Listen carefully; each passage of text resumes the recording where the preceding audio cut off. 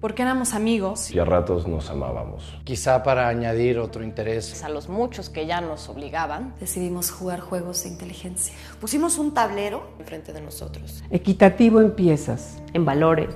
En posibilidad de movimientos. Aprendimos las reglas. Les juramos respeto y empezó la partida. Enos aquí. Hace un siglo.